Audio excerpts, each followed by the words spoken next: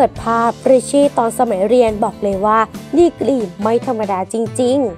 ๆ เป็นอีกหนึ่งนักแสดงสาวหน้าใหม่ที่เพิ่งเข้าวงการบันเทิงมาได้ไม่นานนะคะสำหรับสาวริชชี่ อรเณศ ดีคาบาเลส ที่รับบทนางเอกในละครเรื่องซ่อนเงารัก ซึ่งเจ้าตัวนั้นได้เริ่มเข้าสู่วงการบันเทิงด้วยการประกวด Miss Teen Thailand แต่ต้องออกจากการประกวดค่ะ ก็เพราะว่าติดแข่งขันเยาวชนทีมชาตินั่นเอง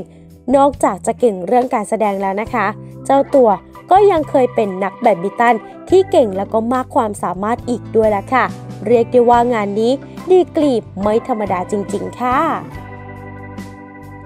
และในวันนี้นะคะเราจะพาทุกคนไปดูกันว่าสาวริชีเมื่อตอนสมัยเรียนนั้นจะน่ารักแล้วก็สดใสขนาดไหน เอาเป็นว่าอยากดูแล้ว เราไปชมพร้อม ๆ กันเลยดีกว่าค่ะ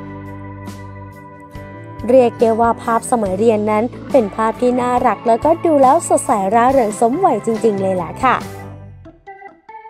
งานนี้ถ้าจะบอกเลยว่า การเวลาผ่านไป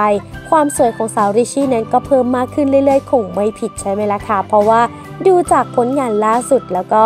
การแสดงของสาวริชี่นั้นก็มีความพัฒนามากขึ้นอีกด้วยแหละค่ะ เอาเป็นว่าทางเราก็ต้องขอเป็นกำลังใจให้กับสาวริชี่แล้วกันนะคะ ให้กลับมาสร้าง ผลงานดีๆ ให้แฟนๆนั้นได้คอยติดตามกันต่อไปแล้วค่ะ ถ้ามีความคืบหน้าอย่างไร ทางเราก็ไม่พลาดที่จะนำมาอัปเดตให้เพื่อนๆได้คอยติดตามกันค่ะ และถ้าเพื่อนๆคนไหนนะคะ มีคำแนะนำหรือว่าความคิดเห็นอะไรก็สามารถคอมเมนต์บอกเราไว้ด้านล่างคลิปนี้ได้เลยค่ะ